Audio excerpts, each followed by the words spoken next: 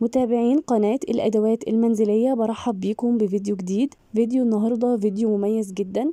هنشوف مع بعض من خلال الفيديو ده مجموعة متميزة من أحدث الأدوات المنزلية والأفكار والحيل. وأحدث الاختراعات الذكية اللي بتساعدنا على استغلال المساحات الصغيرة اللي بتبقى موجودة عندنا في المطبخ أو في البيت بشكل عام. وغير كده كمان إن هي بتساعدنا على ترتيب وتنظيم المطبخ والبيت عندنا. أدوات كتيرة وجديدة هتشوفوها في الفيديو ده.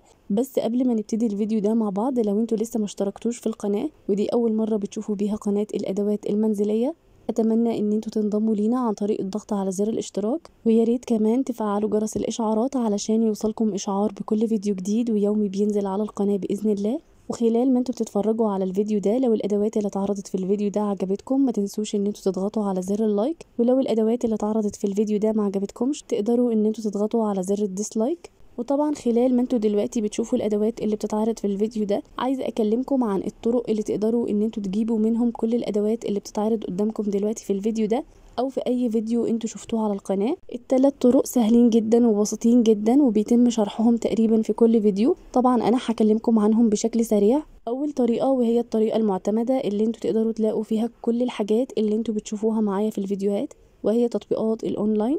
ومن ضمنها طبعا تطبيق علي إكسبريس وتطبيق أمازون وتطبيق علي بابا بس تطبيق علي بابا بيبقى مخصص للتجار يعني للأشخاص اللي هما بيحبوا إن هما يفتحوا مشاريع ويجيبوا كميات كبيرة من المنتجات دي. أما بالنسبة لباقي التطبيقات اللي أنا قلت لكم عليها زي علي إكسبريس وزي تطبيق أمازون وبانجود أو تطبيق اي باي فدي تطبيقات مختلفة تقدروا إن أنتوا تختاروا التطبيق المناسب ليكم. على حسب سعر المنتج وعلى حسب تكلفة الشحن وتجيبوا منه كل المنتجات اللي أنتوا عايزينها. أما بالنسبة للطريقة التانية وهي طريقة صفحات الفيسبوك. دي صفحات بتبقى صفحات أونلاين بتبيع أونلاين وعندها طبعا خدمة توصيل لجميع أنحاء الجمهورية. وأنا شرحت لكم بفيديو قبل كده طريقة الشراء عن طريق صفحات الفيسبوك. وطبعا دلوقتي الفيديو هيظهر عندكم في الشاشة من فوق. تقدروا إن أنتوا تضغطوا عليه علشان تشوفوا شرح طريقة الشراء عن طريق صفحات الفيسبوك.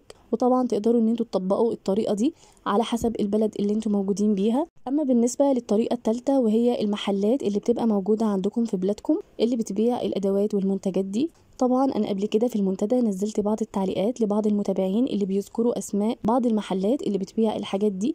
طبعا في بلاد عربية مختلفة تقدروا إن أنتوا تروحوا على المنتدى وتشوفوا البوست اللي نزل في التعليقات دي.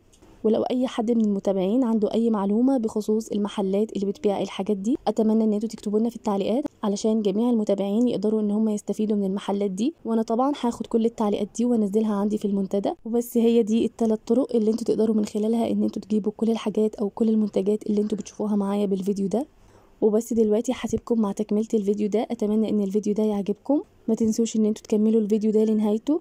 واستنوني إن شاء الله. أشوفكم على خير في فيديو جديد بكرة. أسيبكم في رعاية الله.